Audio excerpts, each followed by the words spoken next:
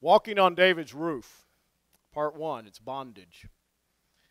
How did I get in this situation anyway? That's a great question. You ever gotten in something that you didn't, uh, you know, you're stuck in a ditch or you're trying to figure out exactly how did I end up in this place or this type of thing? Well, you know, there's a reason we're losing the spiritual battle in this world right now. You go, no, we're not. No, we're not. Yeah, we are. Yeah. And if, if you think we're not, you're kidding yourself. We've won the battle. Christ has won the battle. The victory's there. But we personally are uh, in retreat. And, and it ought not be that way, to quote Paul. Well, so let's start off with a question Is, is the world getting better or the world getting worse? You know, you just decide for yourself. Do you think it's better or worse today? Is it better when you were growing up or is it better today? I don't know. Watch the 5 o'clock news, 6 o'clock news, whatever it is news all day. We live in the most technologically advanced society of any age since the dawn of time.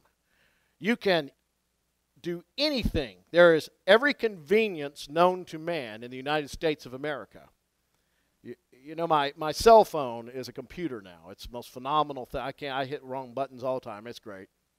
It, it talks back to me. I look at it and I talk talk at it, and you know, they laughed at Star Trek and the idea of the communicators and stuff when they flipped the things on said, Beam me up, Scotty. Well, today, y'all flip open your communicators and do everything but get beamed up. You know, you can get a medical examination over the internet. They can diagnose you, they can treat you, call in a prescription, and zoom, it's done. Camera to camera with your doctor. You don't have to go in anymore. Can you? I don't. I don't know about you, but when I when I grew up, my first car, I actually had to install air conditioned under the dash. Under dash air conditioned.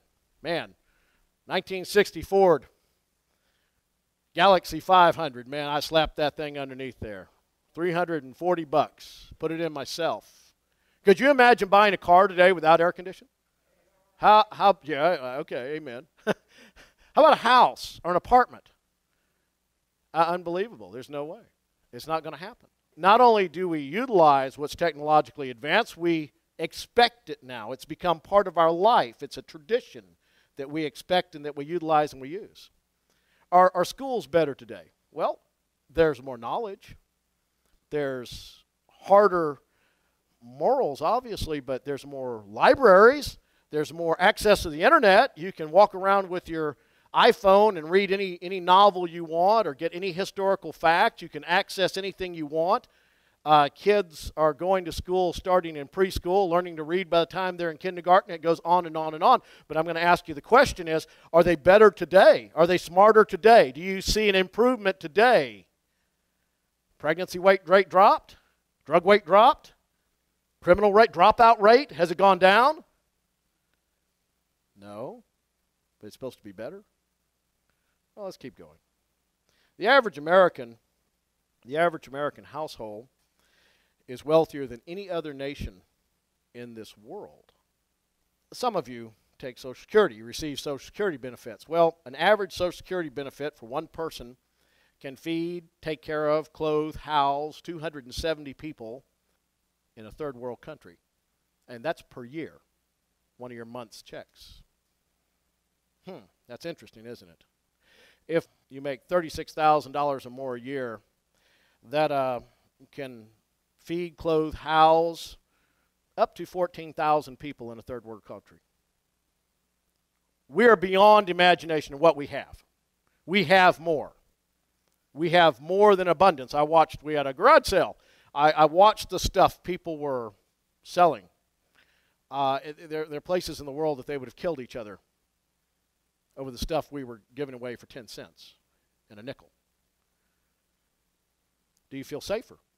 That's a very legitimate question. We have the best security, we have the best army in the world, we have agency after agency after agency. Even your car has a clicker on it with an alarm that you can sound. Your houses have. Do you feel safer today than you did 20 years ago or 30 years ago? When I grew up in Spring Branch, my uh, in Houston, we left our door open. We didn't lock the door. Now, this is in the middle of Houston. This is not out in the country we left the door, and, and a lot of times we would just sleep with a door open and the screen door, you know? That's what the air came through. Our neighbors came in and out of our house as they wanted to. It wasn't, it wasn't uh, who's been here. When we went to actually sell the house many, many years later, I had to completely replace the locks on the door because we didn't know where the key was to the original lock. That's how few times we locked it. How many of you today would live in the city of Houston, city of Chicago, or San Francisco, or out in Paterson, Texas, and not lock your door before you leave? You answer that question. Do you feel safer today? Well, how about your finances? Feel more secure today? Feel more secure? You're, you're happy about that direction? You have, you have uh, more security, more safety, more ability, more resources today? Let's talk about churches. Let's, let's switch to a spiritual aspect. Do you feel like the denominations, all denominations, are doing a better job? And I'm not talking about doing a better show, having more technology, doing more dancing and clapping and singing, better musicians, better artistry, more production.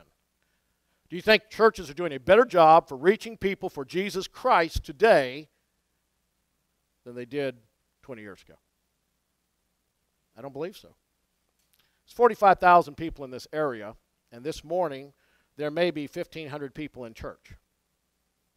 If you were running a business, you'd be going broke if you were basing it off of that. Well, so uh, Christians, um, Christians today have the same addictions, they have the same bad habits, they have the same problems that non-Christians have. Statistically, the exact same. The divorce rate in churches is the same as it is in the world. And that divorce rate, which was just released two months ago, is now 60%. 60% of all Americans getting married for the first time within the first five years will get divorced.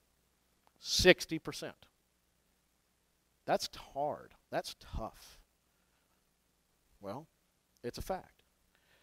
You'd think that men and women, if all this advancement, why do we keep making the same mistakes? Why do we keep repeating the same things? Shouldn't our knowledge have outstripped our mistakes? Shouldn't we know better now? How many of the mistakes you've ever made in your life did you know you shouldn't have made before you ever made them? I can put my hand up and say about 99.9%. You know, you ever said anything you wish you didn't say, but you said it? It was like a bullet out of a gun. You said it anyway. You can't take it back. And the minute you opened your mouth and said it, you went, oh, oh, oh, oh, I shouldn't have done that. And then you get a skillet across the head. That's the way it is. Budgets. There's just as many Christians in the church today who do not have a budget for their household finances as there are non Christians. There's no difference. Economically, they're in the exact same spot, and I'm telling you what, brothers and sisters, that ought not be. That ought not be. That's not scriptural. It's not okay. It's not okay to the end of the month go, well, there's too much, there's too much month at the end of the money. It's not okay. It's not scriptural. It's not what Jesus taught us to do. In fact, he said just the opposite let every man count the cost. Let every man count the cost. Go out and count it. Count the cost before you begin that building. Least you be called a fool. That's what Jesus said. Well, okay. So, uh, walking on David's roof. Walking on David's roof. It's going to be about how to quit and how to start.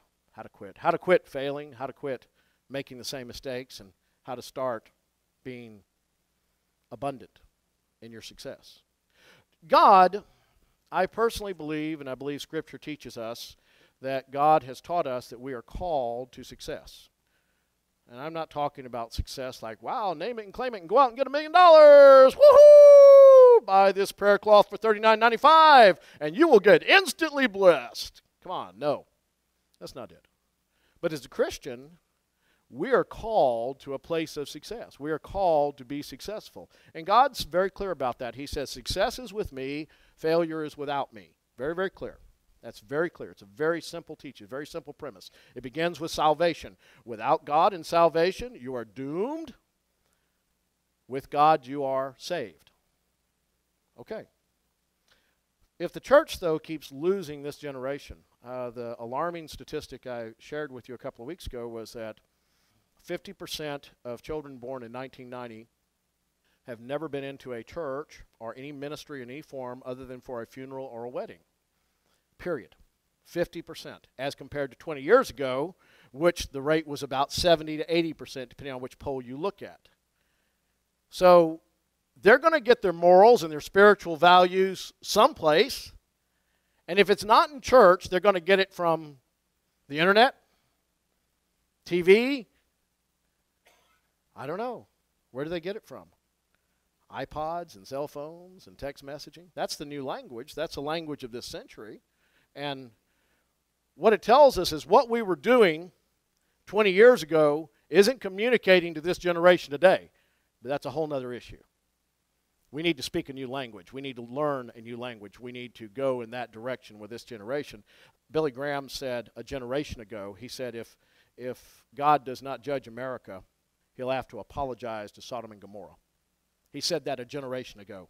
So, what you and I are experiencing today is what Billy Graham said a generation ago.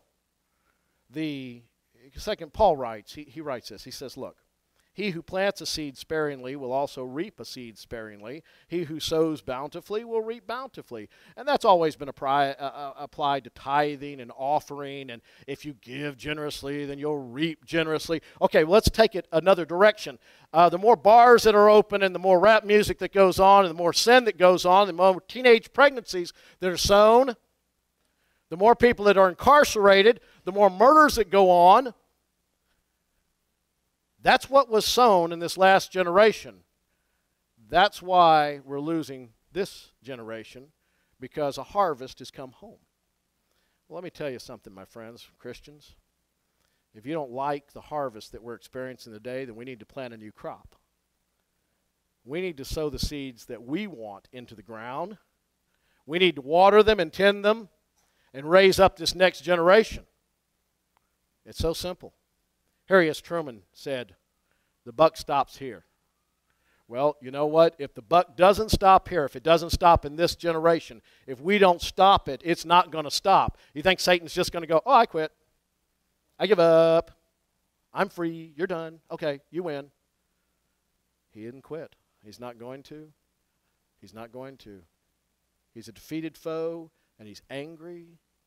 He's not going down without a fight. Corinthians 5 says this. That was the introduction, by the way. Corinthians 5 says, um, 17, 517.